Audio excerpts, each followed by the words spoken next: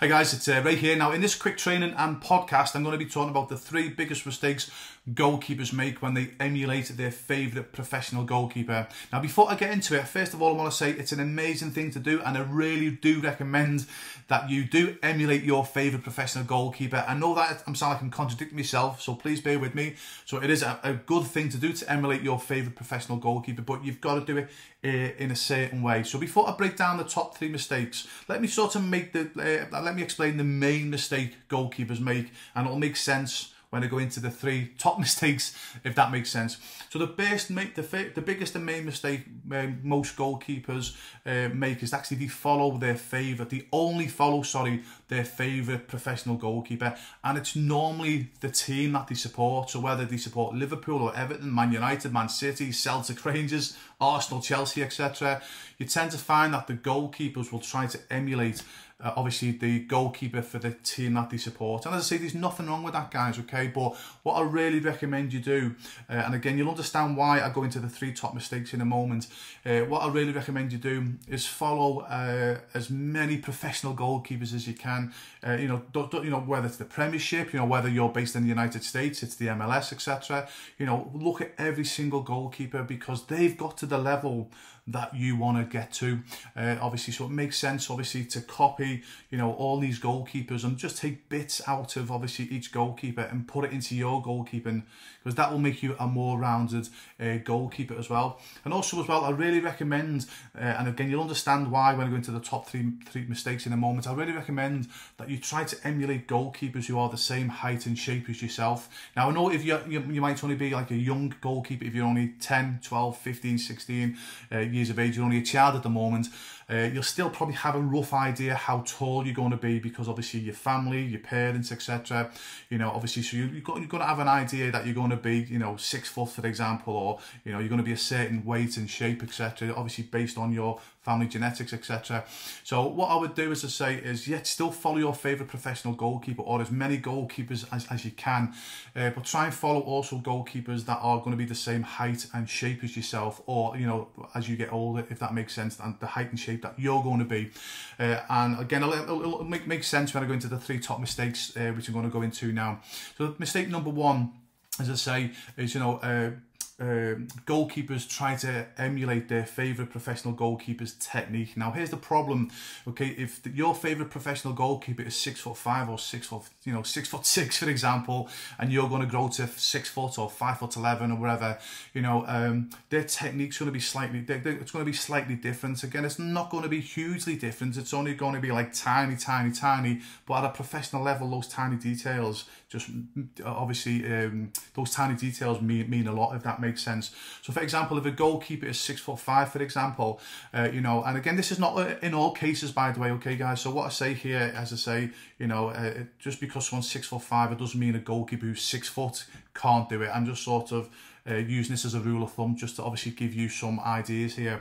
So, for example, a, a goalkeeper who's six foot five, for example, you know, when they're narrowing their angles, uh, for example, they might not uh, need to come off the line as much uh, because obviously, uh, oh, sorry, they might come off the line, uh, you know, a, a half a yard more than what another goalkeeper would be because obviously the height, the frame of them, etc. So they can afford to come uh, a bit more off off uh, off the line. They might stand two yards off the line instead of one yard, you know. And again, obviously, it, it depends, obviously, where the uh, where the angle of the ball is, where the shot's coming from. You know, say they might be able to afford just to stand a bit further off the line because of their height.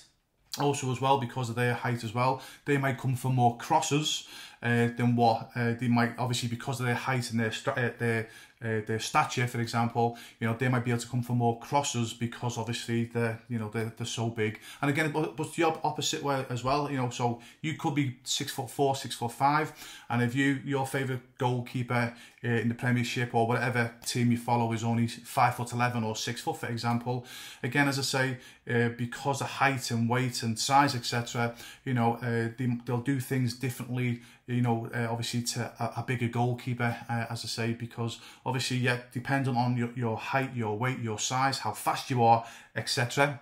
you know, as I say, you'll do things slightly different than other goalkeepers who are a different stature, if you make if it makes sense. So that's why it's super important, as I say, yet still follow your favourite professional goalkeeper, but also follow other goalkeepers as well, and especially follow goalkeepers who are the same height and build as yourself, or as I say, even as you're a child, you know, you, you, you, you've got an idea you're going to be six foot one and, you know, X amount of weight, if that makes sense, you know, so follow goalkeepers who are, as I say, a similar, similar stature to yourself, or obviously that's where you're going to be when you're older.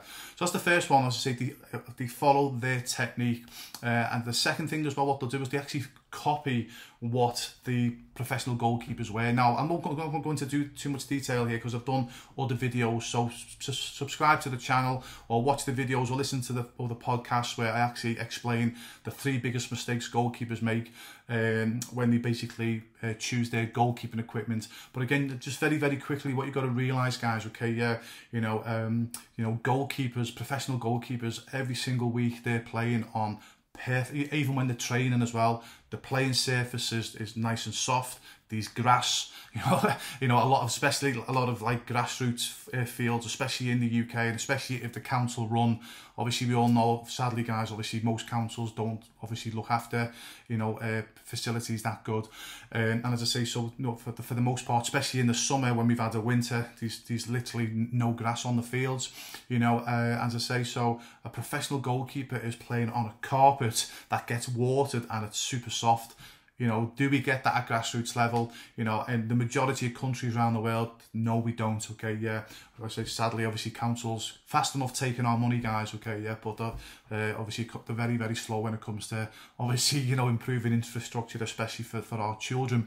Um, but as I say, you know, and one of the things that I re really sort of worries me as a as a as a not only as a goalkeeper coach as a parent is when I see young goalkeepers wearing t-shirts uh, you know, short sleeve goalkeeping jerseys, and they're playing on a, on a playing surface, you know, with, with no grass, rock solid, you know, and that's a basically a recipe for disaster. They are going to get grass burns or mud burns, uh, you know, uh, on the on the dry soil. And guys, that's I mean, I, have broke many bones over the years playing in goal, and I'm telling you now, you know, uh, grass burns or you know, getting any type of burn for, uh, from the surface is is worse than breaking bones. It's beyond painful, you know. So that, again, don't make that mistake, guys. Again, watch the other video if, if you know. It's uh, it's super important on you know the mistakes goalkeepers make when picking their goalkeeping equipment, or especially mistakes parents make for their young goalkeepers. Again, so again, as I say, guys, yeah, you got to be very very careful because you have got to remember you're not playing on the same playing surface as a professional goalkeeper.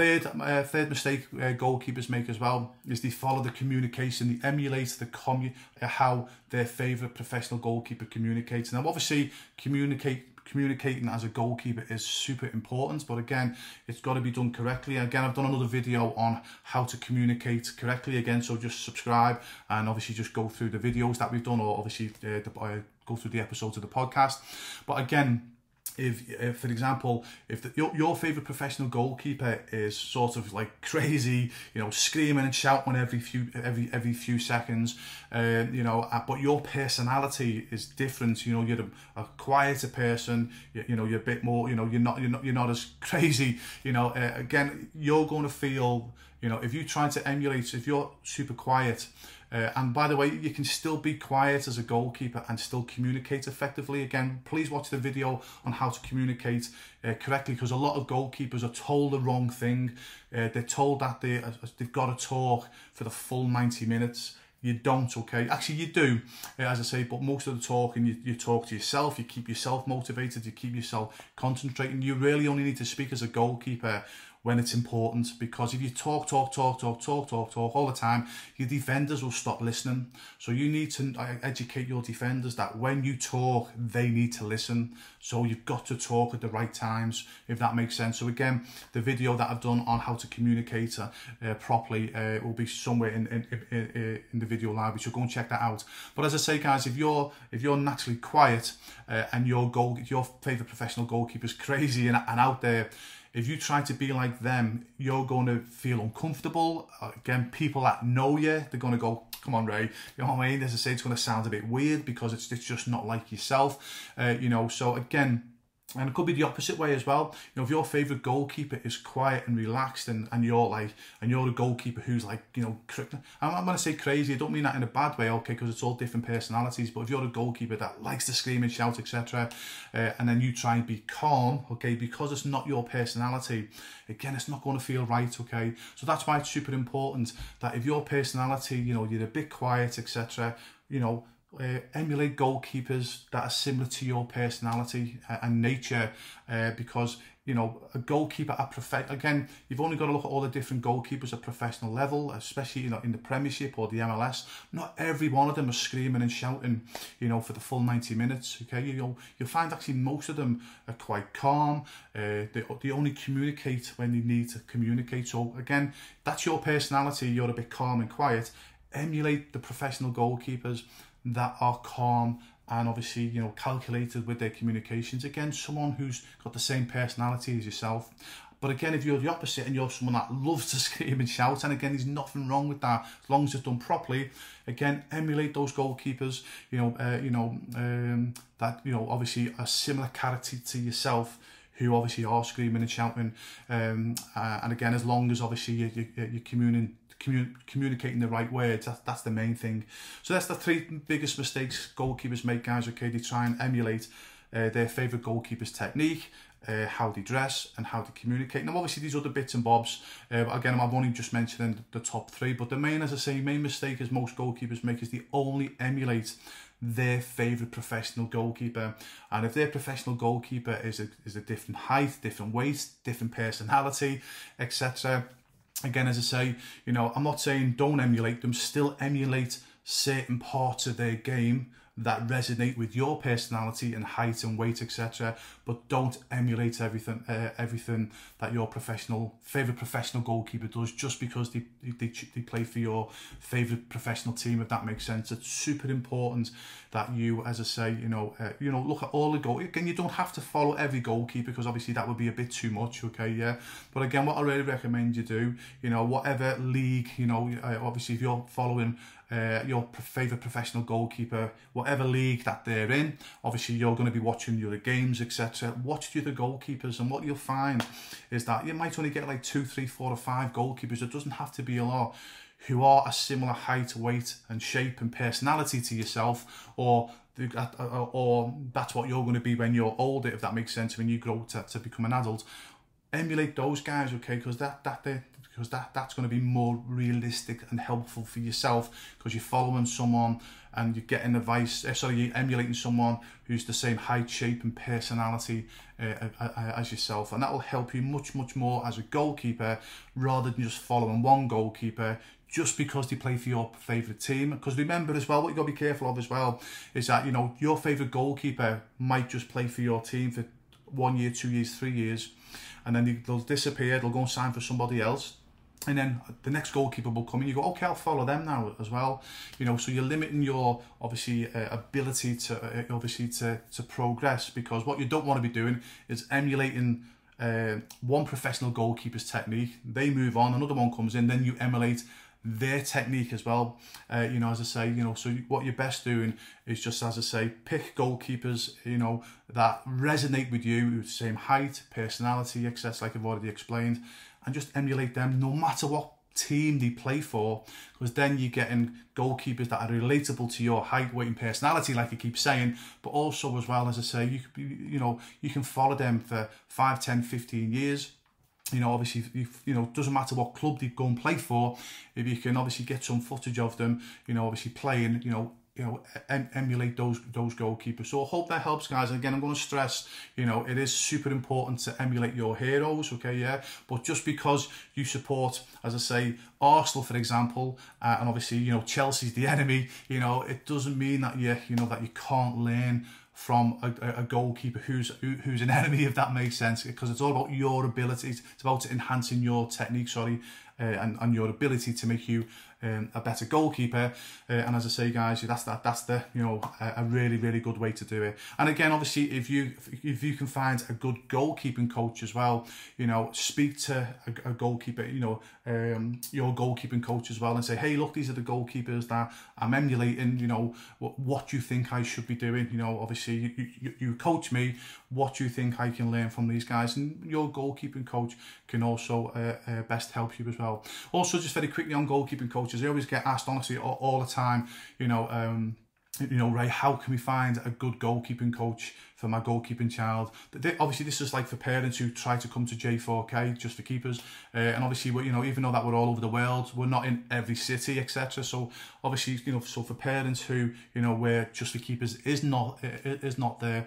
What I always say to you guys, okay, to parents of goalkeepers is, look, you know, uh, there's obviously a lot of goalkeeping coaches out there, but like anything in life, you get the good, the bad, and the ugly. Okay, yeah, it's super important that you get a goalkeeping coach that knows what they're talking about. Even though there's a lot of fantastic goalkeeping coaches out there, independent goalkeeper, uh, independent goalkeeping coaches out there, obviously doing the right things. There's obviously goalkeeping coaches out there, let's just say they, they should not be coaching uh, uh, goalkeepers, especially young goalkeepers, but they're out there, unfortunately.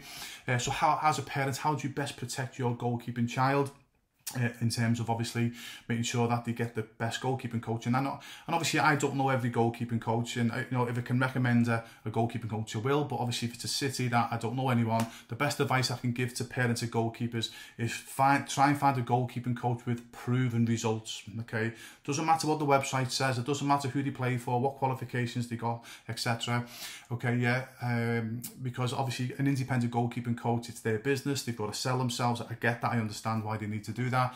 But the best way as a parent of a goalkeeper is just literally find a goalkeeping coach with or a goalkeeping organisation with proven results okay because that's what you want for your goalkeeping child obviously you want them to develop you know and you know so if you go to a goalkeeping coach uh, and you know they can obviously it's on their website for example you can see goalkeepers that have gone on to professional level or maybe gained a college scholarship or they've maybe won awards uh, etc you know they've gone to, onto higher levels whatever that might be.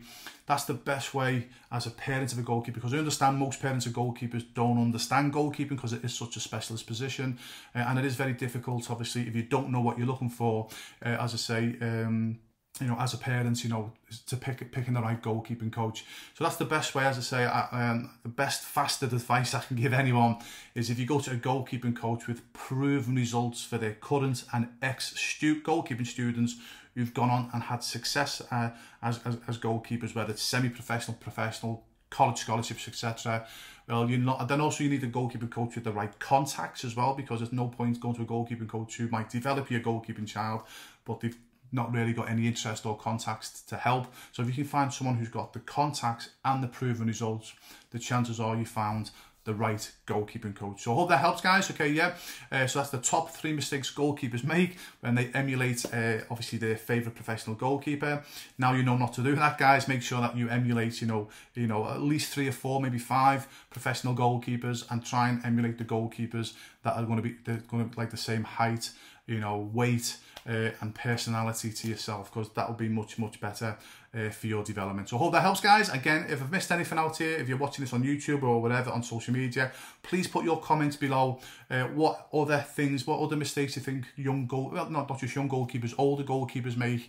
You know, what mistakes do goalkeepers make when they emulate their favourite professional goalkeeper? And what would you recommend uh, goalkeepers do in terms of watching professional goalkeepers and semi-professional goalkeepers? What you recommend that goalkeepers can do to obviously, yeah, you know, enhance their own goalkeeping by watching uh, other professional and semi-professional goalkeepers. Hope that helps, guys. Okay, um, keep working hard. Take care for now.